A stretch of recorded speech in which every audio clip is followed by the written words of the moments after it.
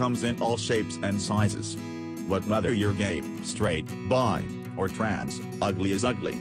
Beauty is synonymous with fame, with several mind-boggling exceptions.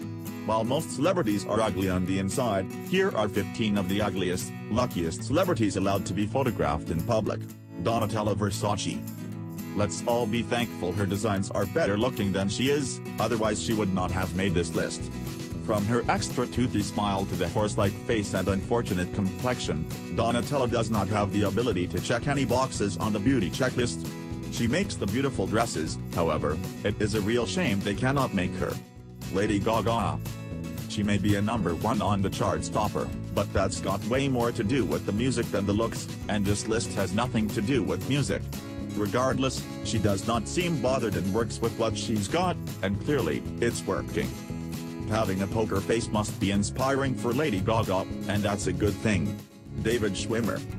Ross from Friends needs all the support his friends can offer after having to sport a face like his. His vague and horse-like features certainly helped create the nerdy lovelorn loser who was Ross. To the relief of a vast number of television and movie-going audiences, Schwimmer has taken his artistic talents behind the camera in recent years. Mick Jagger, the Rolling Stones frontman has been laid more times than any ugly man should ever be allowed, but he's the voice of a generation. Even by rock and roll standards Jagger is ugly, and he looks a lot like Lily Tomlin's twin brother, if she had one. While some men seem to look better with age, Mick Jagger has always been ugly. At least he's consistent. To Tori Spelling. Although her blonde hair remains and her face hasn't changed much, that's just about all we recognize from Till Rise days on 90,210. She started going under the knife a long time ago and it's a bit surprising that her natural facial features have lasted this long. We hope she stops at the chest because she is pretty enough. Jocelyn Wildenstein. Holy crap. This is what happens when you get obsessed with plastic surgery. Wildenstein is a wealthy socialite living in New York City. Holding the dubious honor of being named the Lion Woman of New York, it is rumored her face and brow lifts, chin redesign, cheek implants, as well as eyelid surgery on both top and lower lids have given her a cat-like and creepy appearance. Sarah Jessica Parker. So ugly she's hot, SJP smug graced HBO's Sex and the City and two movies based on the show, which were also downright ugly. It's clear she has talent, because she has a face that belongs on the radio or a farm with horses.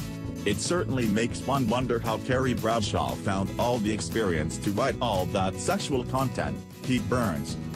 Lead singer for the 80s band Dead or Alive, and best known for their hit You Spin Me Round, Burns has stated that he will continue having plastic surgery despite a botched nose job that left him unable to even wear sunglasses evenly. Burns insists he is not addicted to plastic surgery, claiming it is as casual as buying a new sofa every few years. Adrien Brody. His bird-like and bony features, combined with that hooked nose don't make it easy for any photographer or camera lens from any angle. So while Hollywood is truly the most shallow place on earth, winning an Oscar still holds some weight in this hot or not world. Casting directors have his agent on speed dial for ugly characters.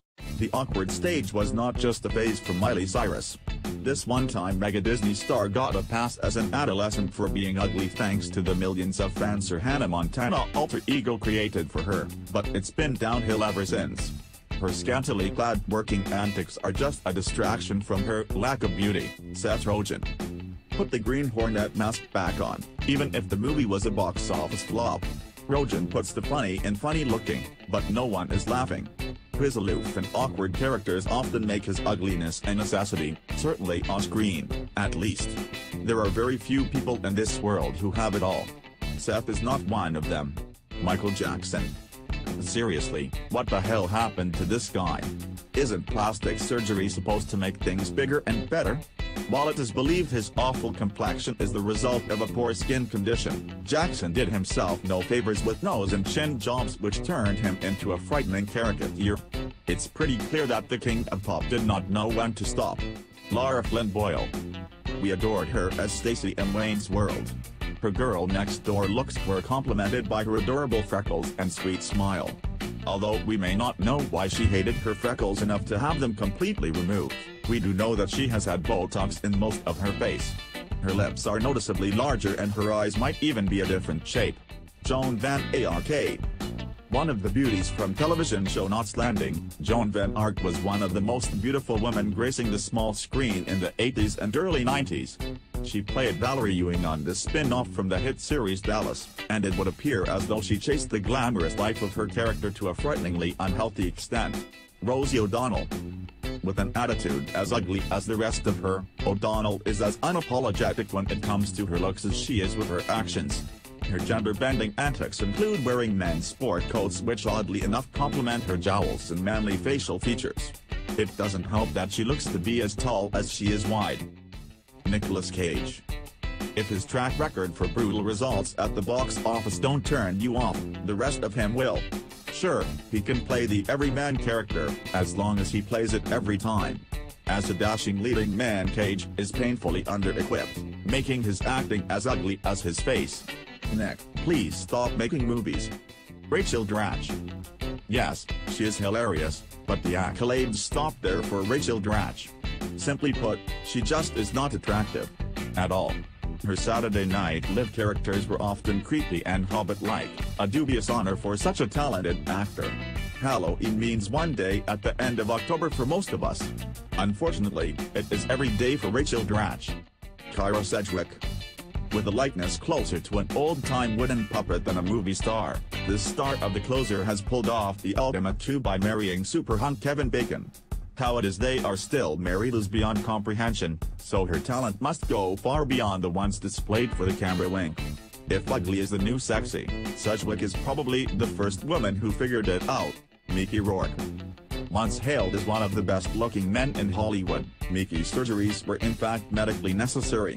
That doesn't change the fact that the doctor must have had a picture of a different man while performing those surgeries. Although we are glad that he is back in the spotlight, we wonder how much of it is due to his strange-looking face. Lindsay Lohan. She's had more appearances in court than on the silver screen of late, with some brutal mugshots to prove it. This former teen and chick flick sweetheart is now a so-called bad girl, and her partying ways have led the casual viewer to believe she is in her mid-30s, probably not something an actress in her mid-20s would want to hear.